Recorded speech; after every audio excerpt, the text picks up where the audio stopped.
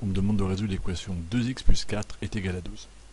Je commence par enlever de chaque côté le nombre 4, en faisant donc moins 4 sur le membre de gauche et moins 4 sur le membre de droite. L'équation devient alors 2x est égal à 12 moins 4, soit 8.